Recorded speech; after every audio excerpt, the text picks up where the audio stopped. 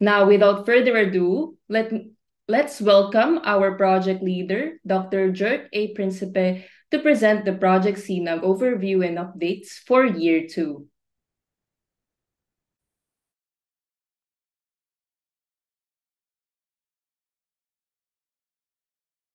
Hello, everyone. Uh, good morning. Thank you for joining us in the Project Sinag Colloquium 2023. So as the name, uh, as the title suggests and the name suggests, it's uh, 2023. It's actually the second year of implementation for the project. And uh, we're happy to report to you uh, the achievements or accomplishments of the project as of uh, the end of its uh, second year. Next slide, please.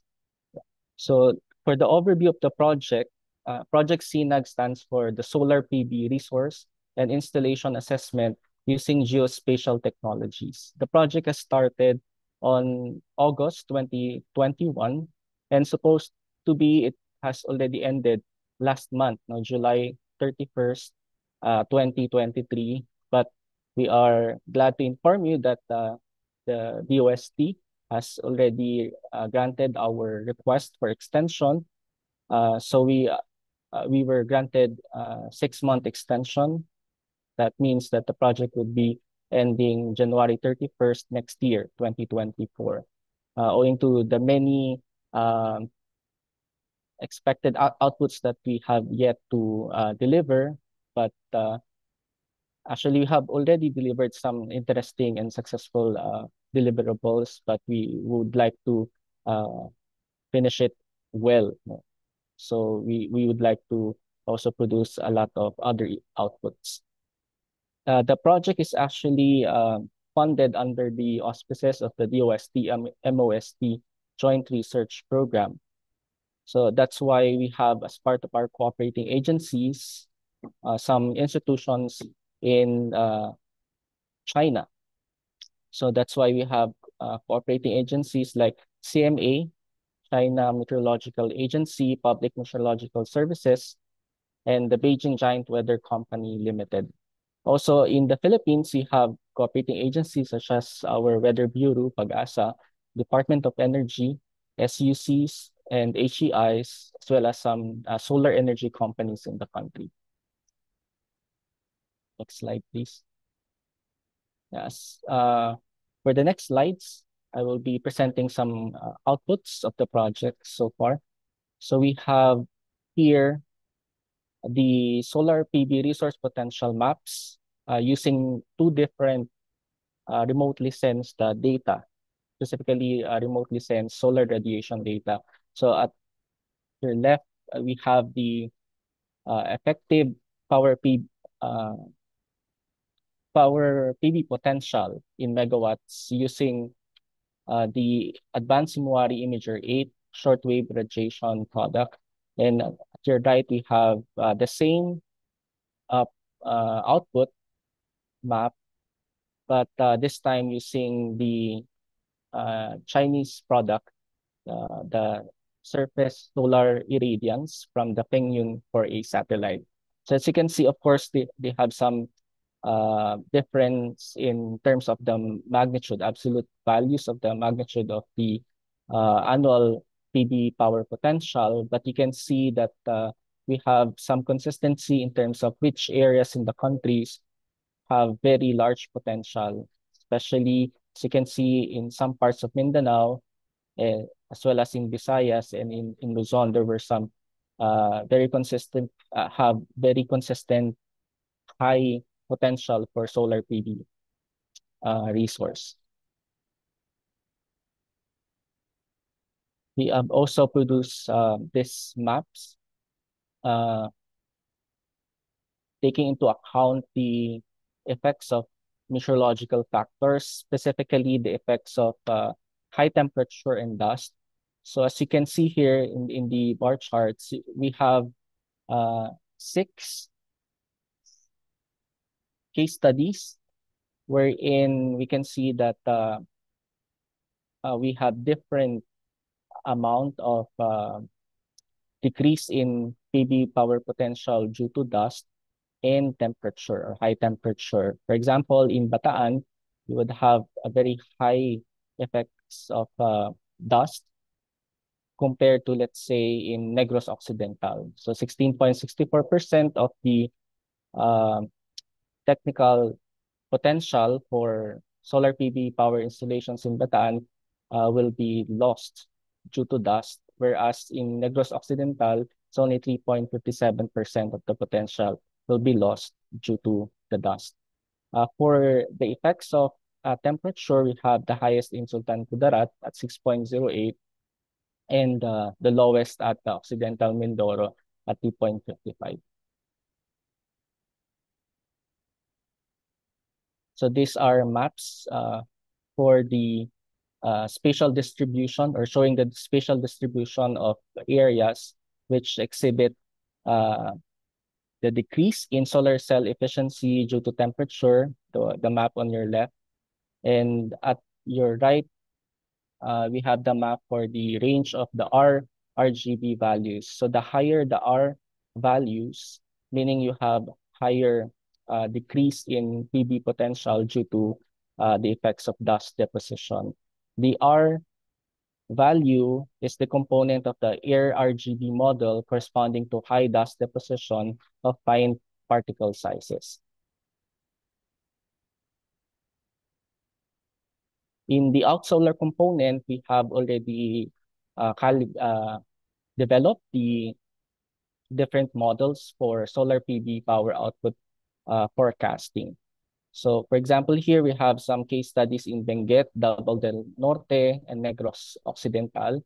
We have tested the SARIMAX model, LSTM, and uh, the XGBoost model, as well as their uh, different hybrid models. Like for hybrid model HM1, we have uh, combined SARIMAX and LSTM, HM2 for SARIMAX and XGBoost.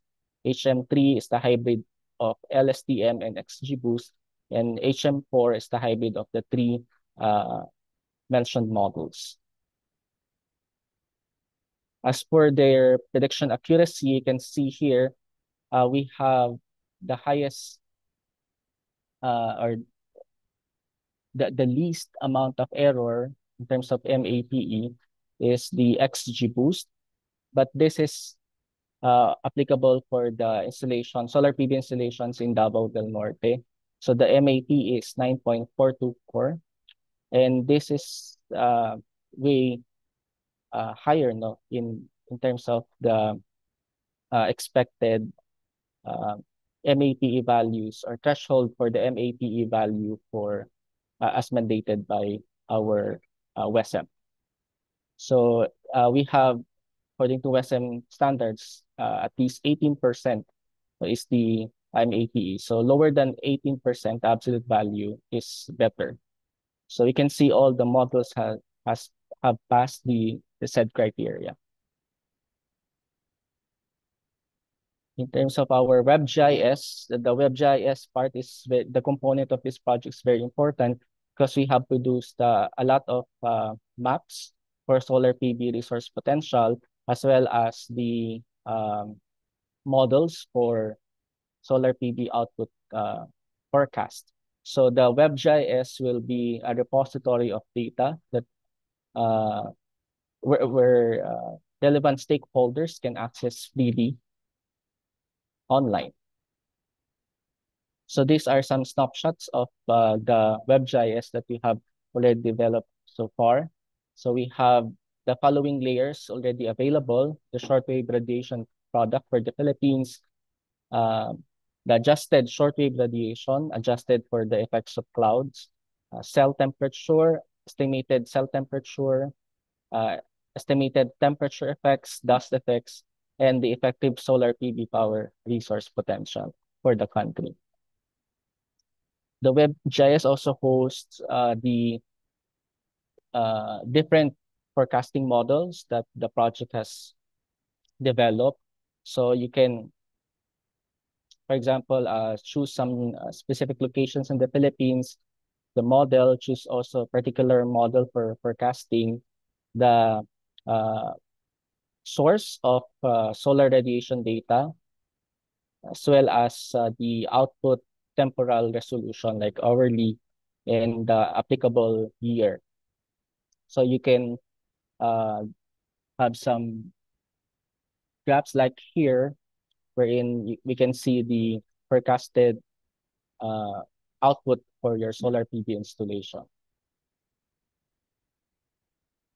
And to summarize uh, the accomplishment of the accomplishments of the project uh, as we end the second year, uh, we have already uh, published two journal publications. Uh, actually, uh, one has already been published online, so you can check it. Uh, just uh, last night, it was published online. The the other one uh, is still in press, so we're still uh, uh, waiting for it to be published uh, online. And then we have also participated and presented papers in seven international conferences. And one of those international conferences, the project has uh, received, uh, been awarded the best best paper, particularly in the ACRS 2022, our Asian Conference in Remote Sensing. We have also uh, produced uh, updated resource potential maps, specifically for solar PV uh, resource potential maps for the Philippines. Also, the WebGIS has already been developed, you know, but uh, there are still some fine refinements you know, that or fine tuning that still have to be done. And uh, I've also conducted 10 training workshops, uh, which has been uh, have been participated with 200 uh, by 223 participants. So these are training workshops that we conduct uh, every time we visit our partner institutions.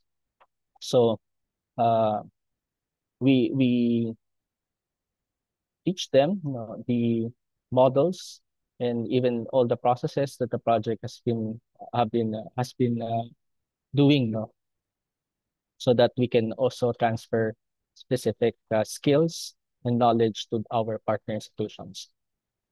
We have also accommodated uh, 21 data requests, mainly from uh, students are doing research on uh, or related to solar PV resource potential.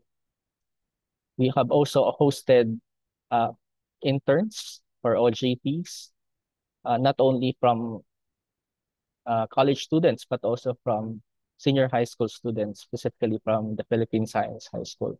So from senior high school students, we have hosted five, undergraduate students 16, and um, MS students five. These are not only limited to OJTs and internship, but also uh, with, uh, in terms of data requests and consultation.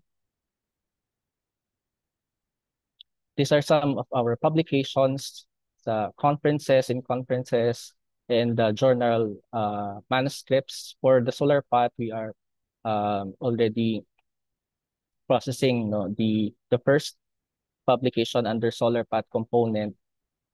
And hopefully uh, we can al already submit this before the month ends.